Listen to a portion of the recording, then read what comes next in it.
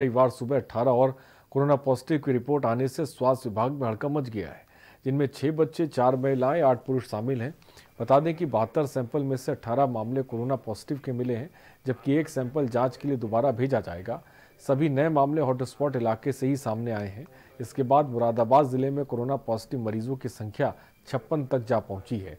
वहीं सभी अठारह पॉजिटिव पाए गए मरीजों में आईएफटीएम में क्वारंटाइन किया गया है।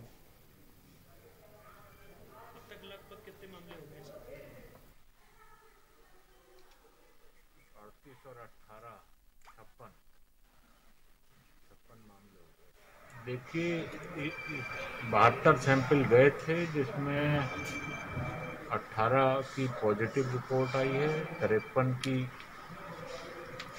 नेगेटिव रिपोर्ट आई है और एक सैंपल का, दोबारा सैंपल भेजने का आया है। देखिए हॉट स्पॉट एरिया एरिया में ये केस आए हैं तो अब इनके और घर के कांटेक्ट जो अगर रह गए हैं तो उनके सैंपल लिए जाएँगे और इनके आसपास भी और केसों की तलाश और गाजियाबाद के मोहन नगर में लॉकडाउन का उल्लंघन करने वालों के खिलाफ